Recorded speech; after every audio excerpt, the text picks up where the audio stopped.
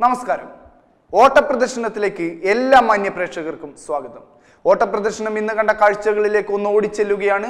ഓട്ടപ്രദർശനം കണ്ട ആദ്യത്തെ വാർത്ത മറ്റൊന്നുമല്ല ഒരു ബാലവിവാഹത്തെ പറ്റിയാണ്.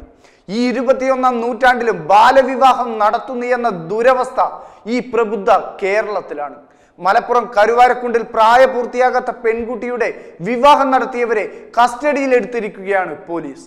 പെൺകുട്ടിയുടെ മാതാപിതാക്കൾ ഭർത്താവ് മഹല്ല് ഗാസി വിവാഹത്തിൽ പങ്കെടുത്തവർ എന്നിവർക്കെതിരെ ബാലവിവാഹ നിരോധന നിയമപ്രകാരമാണ് കരുവാരക്കുണ്ട് പോലീസ് കേസെടുത്തിരിക്കുന്നത്. ഇന്നലെയാണ് വിവാഹം നടത്തിയത്.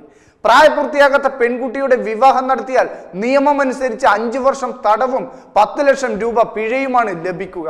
ഈ വകുപ്പ് വകുപ്പനുസരിച്ചാണ് കേസെടുത്തിരിക്കുന്നത്. വിവാഹം നടന്നതായി വിവരം ലഭിച്ചതിനെ തുടർന്ന് പോലീസ് നടത്തിയ അന്വേഷണത്തിലാണ് സംഭവം സത്യമാണെന്ന് ബോധ്യപ്പെട്ടത്. ബാലവിവാഹ നിരോധന നിയമപ്രകാരം ഇരയുടെ വിവരങ്ങളൊന്നും പുറത്തുവിടാൻ കഴിയില്ല. അതിനാൽ കസ്റ്റഡിയിലെടുത്തവരുടെ വിവരം പോലീസ് ഇതുവരെ പുറത്തുവിട്ടിട്ടില്ല പ്രായപൂർത്തി തികയും മുൻപേ കുഞ്ഞുകരങ്ങളെ പിടിച്ച് കന്നുകാലികളെ വിൽക്കുന്ന പോലെ വിൽപ്പന ചരക്കാക്കി മാറ്റുന്ന പ്രാകൃത സമ്പ്രദായം ഇന്ന് ഈ നൂറ്റാണ്ടിലും പേറി നടക്കുന്നവരുണ്ട് എന്നത് തീർത്തും ലജ്ജിപ്പിക്കുന്ന ഒന്നു തന്നെയാണ് എന്നാണ് ഓട്ടപ്രദർശനത്തിന് പറയാനുള്ളത്. അടുത്തതായി ഓട്ടപ്രദർശനം കണ്ട മറ്റൊരു വാർത്തയിലേക്ക് പോവുകയാണെങ്കിൽ കാവശ്ശേരിയിലെ ശ്രീദേവിക്ക് വീട് വയ്ക്കാൻ സഹായം നൽകുമെന്ന് പ്രഖ്യാപിച്ചിരിക്കുകയാണ് സുരേഷ് ഗോപി എം പി. സുരേഷ് ഗോപി ശ്രീദേവിയെ ചെന്ന് കണ്ട വാർത്ത വളരെയധികം ശ്രദ്ധ നേടിയ ഒന്നായിരുന്നു. സുരേഷ് ഗോപിയെ കണ്ട് ജീവിത പ്രയാസങ്ങൾ പറയണമെന്ന ശ്രീദേവിയുടെ വർഷങ്ങളായുള്ള ആഗ്രഹമാണ് ഇതോടെ സഫലമായത്. അതിന് പിന്നാലെയാണ് വീട് വെച്ചു നൽകുമെന്ന പ്രസ്താവനയുമായി സുരേഷ് ഗോപി രംഗത്തെത്തിയിരിക്കുന്നത്.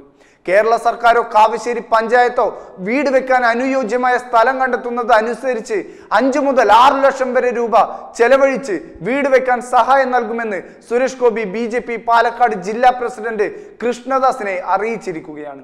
കോട്ടയം ജില്ലയിലെ ഏറ്റുമാനൂർ സ്വദേശികളായ ഒരു കൂട്ടം ആളുകളാണ് ഈ ദൗത്യം പൂർത്തിയാക്കാൻ സുരേഷ് ഗോപിയെ സമീപിച്ചിരിക്കുന്നത്. ഓട്ടപ്രദർശനം കണ്ട മറ്റൊരു വാർത്തയിലേക്ക് പോവുകയാണെങ്കിൽ കരുവന്നൂർ സഹകരണ ബാങ്ക് തട്ടിപ്പിനെ കുറിച്ച് പാർട്ടിയിൽ പരാതിപ്പെട്ട സുജേഷ് കണ്ണോത്തിനെ കാണാനില്ലെന്ന പരാതിയുമായി ബന്ധുക്കൾ രംഗത്തെത്തി എന്ന വാർത്തയാണ്. സുജേഷിനെ കാണുന്നില്ലെന്ന് കാട്ടി ഇവർ ഇരിങ്ങാലക്കുട പോലീസിൽ പരാതി നൽകി.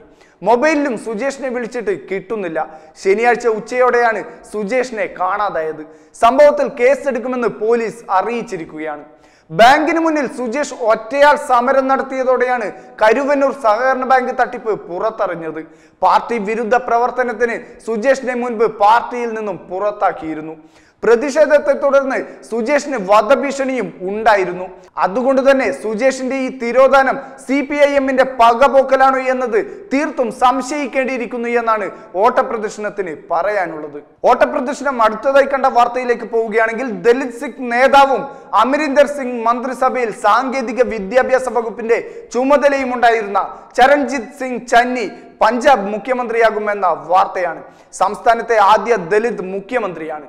ജയിൽ സഹകരണ വകുപ്പിന്റെ ചുമതല വഹിച്ചിരുന്ന സുഖ്ജീന്ദർ സിംഗ് രൺദാവയെ മുഖ്യമന്ത്രിയാക്കുമെന്നാണ് കോൺഗ്രസ് നേരത്തെ അറിയിച്ചിരുന്നതെങ്കിലും ഒരു വിഭാഗം എം എൽ എമാർ രംഗത്ത് വന്നതിനെ തുടർന്ന് ഒഴിവാക്കുകയായിരുന്നു. ഗവർണർ ബിൽവരിലാൽ പുരോഹിതിനെ സന്ദർശിച്ച ചരൺജിത് സിംഗ് മുഖ്യമന്ത്രിയാകാനുള്ള അവകാശവാദം ഉന്നയിച്ചു. നാളെ രാവിലെ പതിനൊന്ന് മണിക്ക് മുഖ്യമന്ത്രിയായി സത്യപ്രതിജ്ഞ ചെയ്യാൻ ഗവർണർ അനുമതിയും നൽകി. ചരൺജിത്തിനെ നിയമസഭാ കക്ഷി നേതാവായി ഐക്യകണ്ഠേന തിരഞ്ഞെടുത്തതായി പഞ്ചാബ് കോൺഗ്രസിന്റെ ചുമതലയുള്ള ഹരീഷ് റാവത്ത് ട്വീറ്റ് ചെയ്തു. പഞ്ചാബ് കോൺഗ്രസ് അധ്യക്ഷൻ നവ്ജോത് സിംഗ് സിദ്ധുവിനുള്ള എതിർപ്പാണ് രൺദാവയ്ക്കു പകരം ചരൺജിത്തിലേക്ക് എത്താൻ ഹൈക്കമാൻഡിനെ പ്രേരിപ്പിച്ചതെന്നാണ് ലഭിക്കുന്ന വിവരം. അടുത്തതായി സംസ്ഥാനത്തെ ഇന്നത്തെ കോവിഡ് നിരക്കുകളെ കുറിച്ച് പറയുകയാണെങ്കിൽ സംസ്ഥാനത്ത് ഇന്ന് പത്തൊമ്പതിനായിരത്തി അറുന്നൂറ്റി അമ്പത്തി മൂന്ന് പേർക്കാണ് കോവിഡ് സ്ഥിരീകരിച്ചിരിക്കുന്നത്.